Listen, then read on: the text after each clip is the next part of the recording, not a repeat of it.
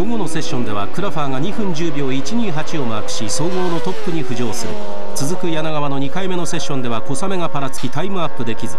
以後クラファーのタイムを破る者のいないまま予選終了時刻は近づいていた。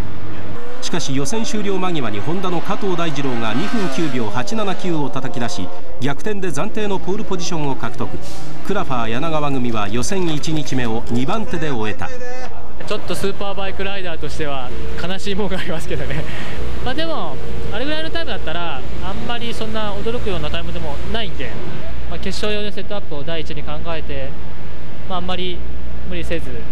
でサイモンの方もすごいタイムいいんで、まあ、一番僕らがあの安定してあのお互いに速いタイムで走れてるチームだと思うんで、まあ、その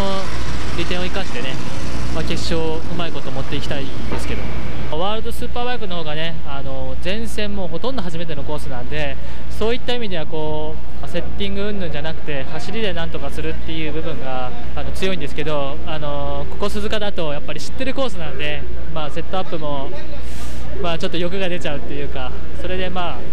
まあ、ちょっと回り道しちゃってるところあるんですけどウィーク始まったんでねあのワールドスーパーバイクモードに切り替えてあの、まあ、走りでなんとかカバーしていきたいと思いますけど。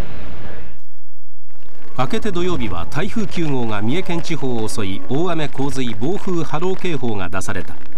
予定されていたスペシャルステージは中止となり前日の刑事予選の結果でスターティンググリッドが決定。